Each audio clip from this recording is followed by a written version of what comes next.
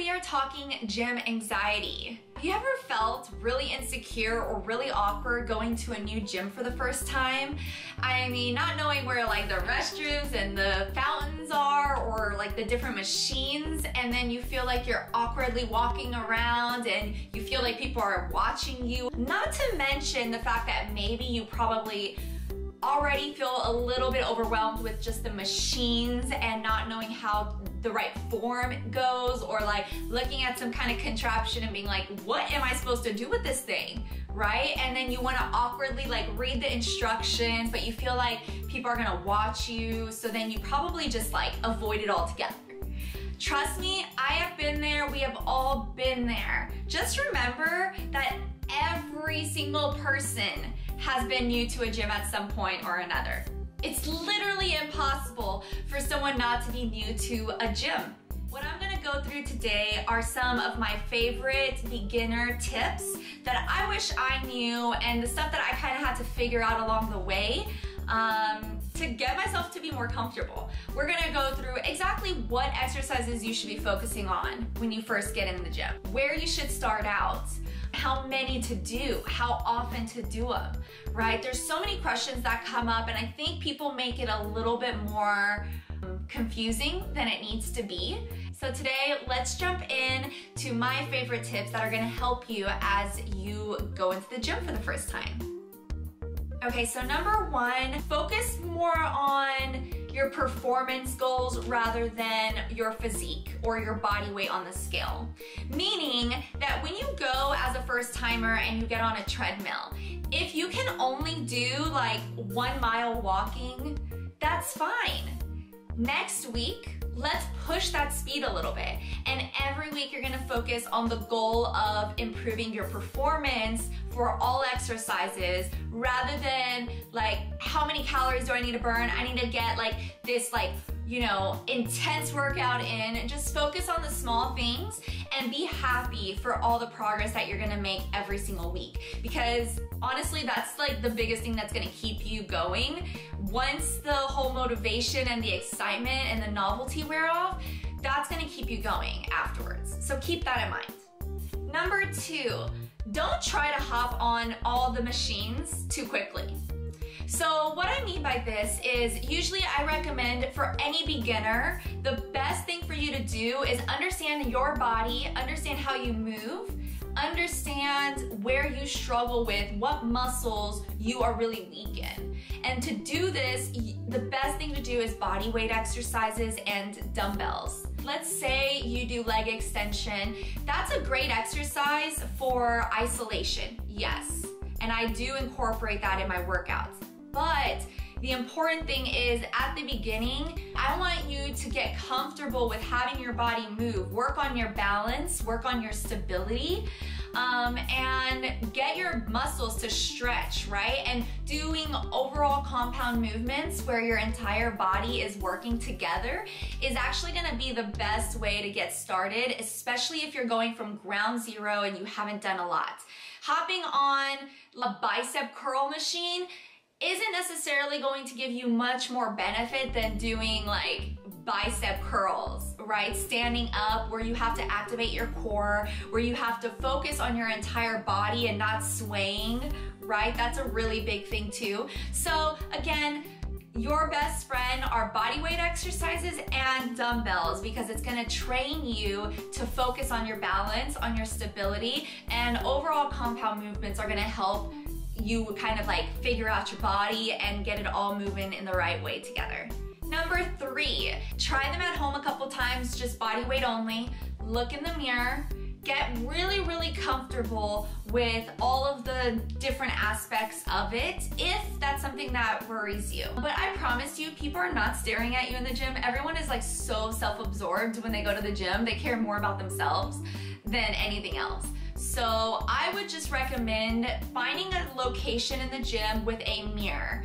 So that way you can watch yourself as you do every single exercise. Don't go off into the corner somewhere where you hope no one can see you because think about it this way, the more the more, the more wrong you do the exercise, the more insecure you're gonna feel. It's gonna be a lot easier for you to like go in with confidence And also going in, you're prepared, you know you're gonna go from one thing to another. You don't have to necessarily like mindlessly walk around be like, what do I do next, right? It's all about just trying to feel confident before going in and it's gonna translate when you're on the floor too.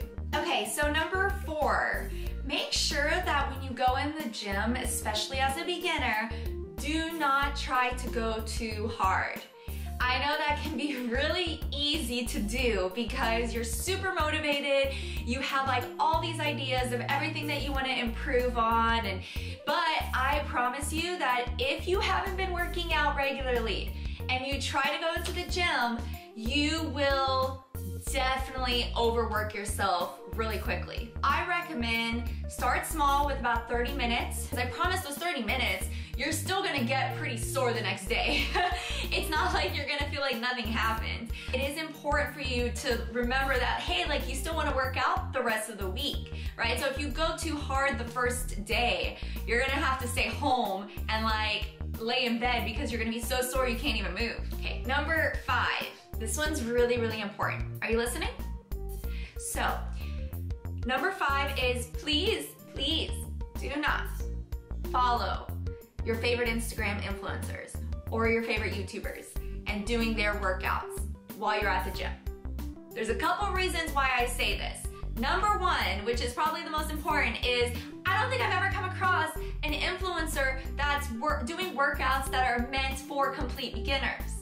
Most of the time, they are putting background music on, they're going through and showing you their workouts, meaning that they've been working out for years and their workouts are not gonna be the right ones for you. If you're a beginner, you're probably not gonna really know how to do them anyway. And a lot of influencers do not put like complete tutorials of every single exercise on their on their video.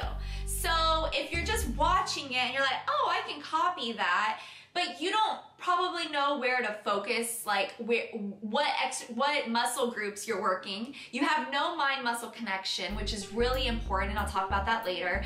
Um, and then on top of that, like if, if every single week that you go into the gym, if you're doing completely different exercises because you're just randomly cherry picking and finding one of your favorite workouts or favorite influencers to do, you're not really gonna develop consistency in the right way. We wanna make sure that you are a term called progressive overload, meaning that you're constantly getting stronger, you're constantly like adding a little bit more intensity to your workout. Um, and if you're going from like one thing to another and you're just jumping around, there's really no strategy behind your workout plan. And that can leave you with not seeing the best results and probably giving up because you're just kind of like cherry picking and just doing whatever and it's probably not right for your body. Try to stick to uh, like four or five exercises, which I'm gonna go over next, but I want you to just choose a few and then from that, just progress and get better and stronger at them every single week. It may be boring, but it's effective. All right, so number six, we call them compound exercises. You know that they're going to fully work the entire body, right? And it works multiple muscle groups at a time. That's gonna help you with what I said earlier, your balance, your stability, um, your core strength. When you go in, go in with four to five exercises that you do that day. That's it, no more. And for those exercises, I want you to do three sets of 10 to 15 reps every week, keeping track of if you only did body weight this time, next week, can you add 10 pounds, right? The week after that, can you add another 10? So just keeping track of how much you're lifting is gonna just give you a little bit more of a boost of motivation. So you're gonna get stronger each time. And it's gonna be a lot more effective than just picking random exercises, I promise. So the five exercises that you should incorporate throughout the week, just break it up into maybe like a lower body day and an upper body day, but you've got squats, you've got deadlifts, You've got overhead press, which works the shoulders. You've got chest press, which is, you know, like a bench press. And then you've got uh, back rows.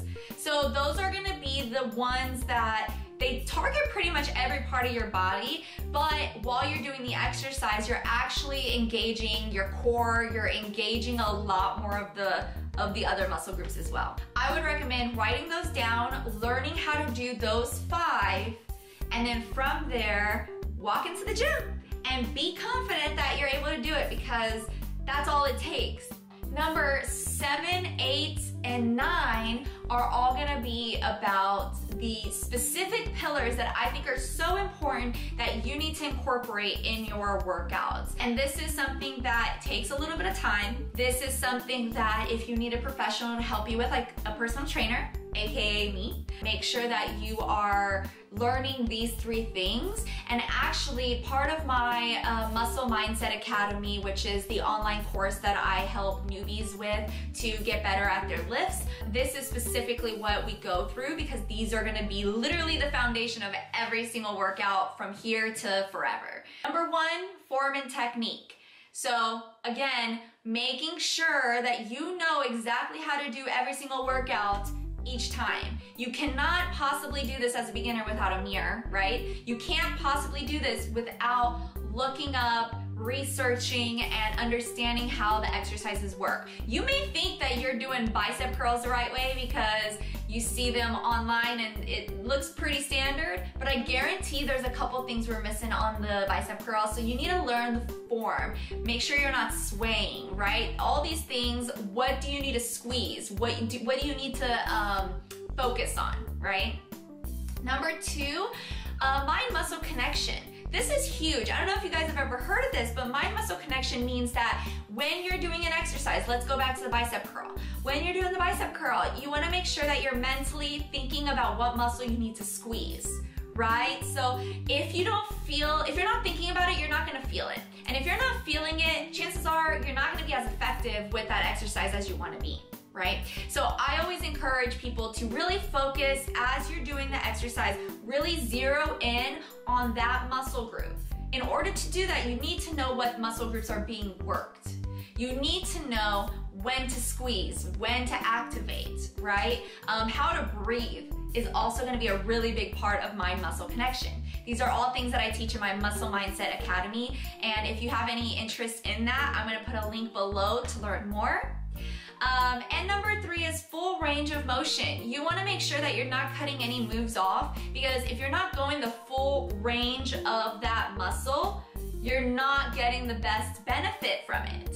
So there's a lot of people that will do squats and like go halfway, right? Um, if you keep going just halfway, you're never gonna be able to progress to actually getting deep enough, right? So I would rather you focus on getting deep enough and doing like three versus doing halfway and doing 12. See what I'm saying? I'd rather you focus on getting full range of motion, going deep into that squat where your quads, your thighs are parallel and table, I call them tabletop. Um, that way you're constantly like working the right muscles. Even if you can only do two or three, that's okay. Because next week, guess what? You're gonna do it again. And maybe you'll be able to do four or five, right? And then from there, five to six. See how it all progresses? You just have to do them the right way. And that's something I fully support. You guys have to push yourself. It may suck, especially if you're not new or if you're new to squats and your body doesn't want to go there. Um, using something to support yourself, but getting the full range of motion no matter what is really, really important. Okay, so number 10, the last advice piece I'm gonna give you. Try to make sure, I know that as a newbie, you're probably gonna be struggling um, to lift heavy.